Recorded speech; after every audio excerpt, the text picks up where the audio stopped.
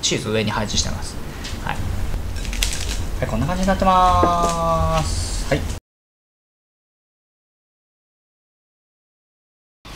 はいどうも料理のお兄さんリュウジです。はいということでですねまあ少し酔っ払ってるんですけども挨拶考えるのもだるくなるぐらいえー、っとのほろ酔い会議です。ねもうちゃんと普通にいこうと思います。はい。原点に帰ると。もう原点に帰るってどういうことかっていうとやっぱりね原点原原点に帰ります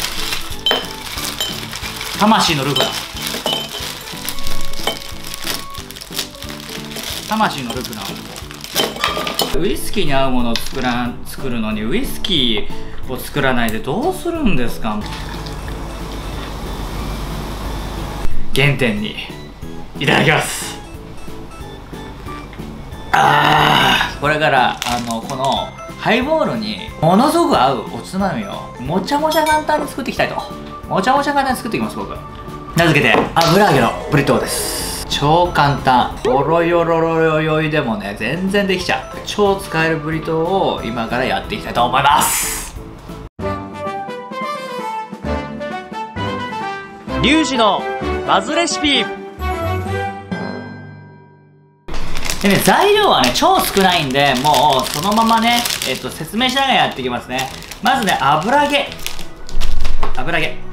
で、油揚げは、こうやって、半分にしてあげてください。こうやってね、広げてね。で、ロースハム。4等分にするんですよね。ハムはね、ちょっとね、あの、ちょっと剥がして、こんな感じで、適当に、適当にこうやって滑る。チーズとハムをね、えー使って料理をすると大体価値確定するんですよね。バターと醤油使っとけば何でも美味しいとかっていうそれね本当に、えー覚えた方がいいですあの人生を豊かにするライフハックなのでね。いつもなんかろろれつが回ってないから病気なんじゃないかと言われてるんですけども、えーこれはもともとです。もともと滑舌が悪いんですよね。だから気を抜くとすぐろれつが回んなくなるんでハムを入れていきます。こんな感じね。とろけるチーズ今回ね2枚使います、はい、あのもっと使いたい方はもっと使ってもいいです、はい、でこれをねあのこうこうこうこうなんつうんですか？4等分ぐらいにしとくんですよこうやってでこの4等分したのをこうやってね入れちゃう。こうやって。ね。こうほら、え2枚ずつぐらいね。入れちゃう、はい、もうもううまい。ほらもううまいのよ。料理は足し算なので 料理は引き算っていう方もいますけど引き算の料理も確かにあります。圧倒的に簡単だから足し算のが。バタープラス醤油は正義とかバタープラスニンニクは正義とかそういう足し算です。初心者の方もそういう感じでね気を負わずに料理していっていただけたらなっていうふうに思います。こういうお皿にねあのレンジ可能なやつにしてくださいね。こんな感じでねちょっとねチーズがね垂れそうになるからチーズちょっと上にしていただいてチーズ上に配置してます。はい。でまあこんな感じにして。じゃあこれラップしてえー、とこれね電子レンジでしかも2分半でいいんですよ。切って詰めて2分半でおつまみになってしまうというね。はいいってらっしゃい。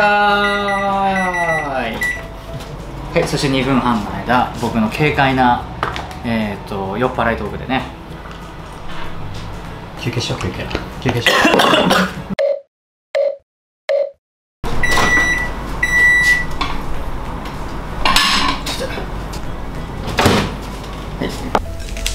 はいこんな感になってます。はい。チーズがねちょっと垂れてきてるんですね。このね垂れたチーズがねうまそうなんですまたね。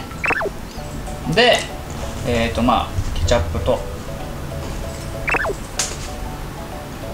粒マスタード。両方添えていただいて。仕上げにねちょっとね軽く塩と胡椒。はい。振ります。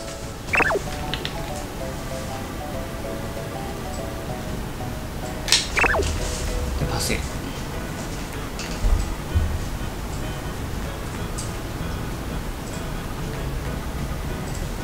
そうしましたら油揚げのブリトーの完成です。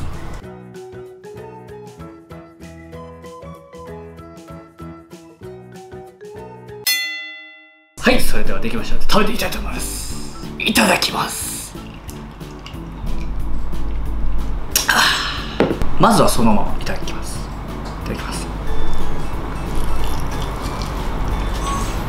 おー。冗談みたいにうまいっすねこれねちゃんとブリトーなんですよねこれね。びっくりしますよこれ。皆さん。うん。ほんとうまいな。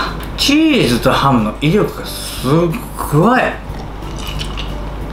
これねチーズはねあの好みでちょっとね増量してもいいですね。今回2枚使ったんです。3枚入れてもいい。そのまま食べてもいいんですけどもケチャップとマスタード。これがねまた合いますから。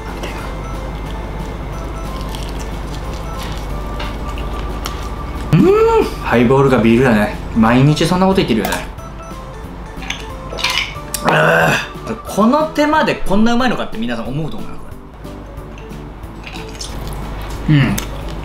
これ低糖質なんですよ。本来はトルティーヤで、ま、巻いて上にやるんですけども油揚げがなんで低糖質糖質気にしてる方非常にいいレシピになっておりますよ皆さん。皆さんこのハイボールチーズブリトーハイボールなんかなんだっけ油揚げのブリトー風でした。何？卒よろしく。お願いしま